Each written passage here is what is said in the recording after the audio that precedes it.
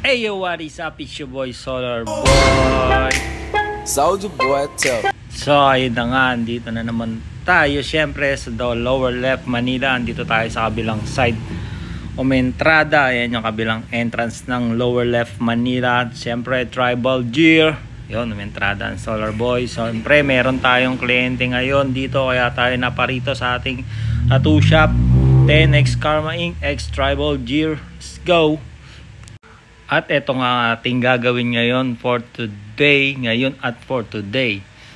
Yun na, nag-sketch na ako dyan kasi may reference tayo dyan, bigay ni client kaya ipi-freehand natin ng panibago para may lapat at portrait ay portrait ng kanyang nanay. Siyempre, inayos ko muna yung mga design Dalawa nga pala silang magjowa ang gagawin natin dyan. Kaya kailangan muna nating mananghalian kasi hindi pa nananghalian ang inyong lingkod na si Solar Boy. Yeah! Brr! Dalawa nga pala ang kakainin ko. Siyempre, marami akong gutom at isa lang sa aking asawa ni sa Sarina. Ayun, mag-start na nga kami dito at nauna lalaki. Ah, taga Laguna, taga Laguna pa nga sila. 4 hours yata yung naging biyahe nila para pumunta dito sa shop natin at nagpa-schedule sila dito sa the lower left Manila. Salamat sa inyo. Good thing at may shop na tayo dito sa south area para makapunta yung mga taga south na client natin. So yun, na-stencil na natin. Kita nyo naman, pantayan. Siyempre all the way. Allegory block ang gagamitin nating ink at saka ang needle natin dyan is 3RL lang Siyempre, yung mga tattoo supplies natin is from Black Angel Tattoo Supplies. Salamat Prabhu Govinda and Mother Angelica Penapiel sa inyo. Sa doon lang kayo kumuha ng mga tattoo supplies nyo kasi napakalulupit ng mga gamit nila doon. Alright, linyahan na tayo. First tattoo nga pala ito ni Sir. Kaya binigyan ko siya ng mahabang linyahan. De joke lang smooth lang naman tayo humagod. Siyempre, hindi naman tayo babalik-balikan ng mga clients natin. Kung barubal tayo gumawa. Ah, gusto ko nga pala ipakita yung mga malilitan kong gawa. Kaya nag-video ako ngayon. Kasi meron akong client last time. Nagpagawa yung asawa niya pero yung lalaki gusto sana magpagawa. Kaso akala niya puro malalaki lang ang ginagawa ko. Gumagawa rin ako ng maliliit. O mga minimalist, small piece. Kaso hindi ko na napipicture or hindi ko na i-upload. So kaya may video ako ngayon para makita nyo na gumagawa din ako ng mga maliliitans. And also, kahit ano naman kasi ginagawa ko, wala naman akong talagang porting specific. Anything goes ako. Siguro nga nasanay na lang ako dati nung namamasukan pa ako sa Skinworks. Sa yung kwento ko lang, matagal pala ako nagtrabaho sa Skinworks Tribal Inc. Diyan sa may SM North EDSA. Sa, uh, shoutout muna natin si ang pumanaw na Piltag President natin, Sir Ricky Santa Ana. Shoutout sa iyo. Salamat sa tiwalang binigay mo sa akin. Kaya na, napasa ako dyan sa Skinworks, Team Skinworks. Shoutout sa inyo. Alright. Uh, andyan na tayo ngayon sa shading. Shading na tayo. Whip shading ngayon tayo dyan. Ginamit ko 3RL all the way pa rin ang gamit natin. And sinet ko yung machine ko dyan sa pinakamababang bolts na kaya ng Bishop. Wand na gamit ko is 4.5 yun yung pinakamabang mababang volts niya. Teka lang pakinggan muna natin yung sinasabi ni Isabel Jones dito. Pag walang pakpak yung aeroplano hindi talaga lilipad yung engine okay.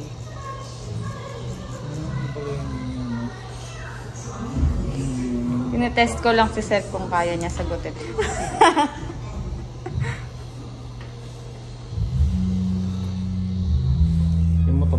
walang gulong? Tatakbo ba yun? Hindi, inisip ko wala dun yung makina. Kung mga pang-balance lang siya. Ano na yun? Bracket na yun. Hmm.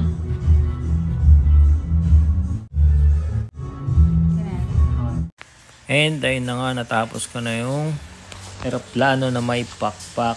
Kailangan yon para makalipad. Hindi nga lang pumapagaspas ang aeroplano. Pero dire-diretso na kami ngayon. Stencil ko na yung i-portrait. Hindi ko na pinagpahinga sir. Ayun, tinisipat natin yung pantayan.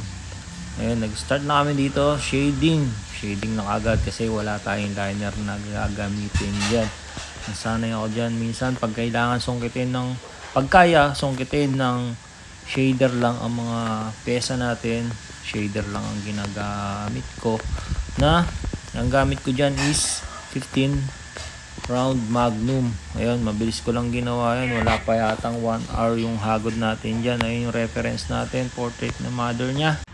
At yan ang tutularan ninyo pag magpapatato kayo ng unang-una ipaportrait nyo agad ang inyong nanay. Tingin ko hindi magagalit yan kahit ayaw niya ng ayaw niya kayong patatuan. Siyempre may nakamagandang strategy yung ginawa ni Sir Jan.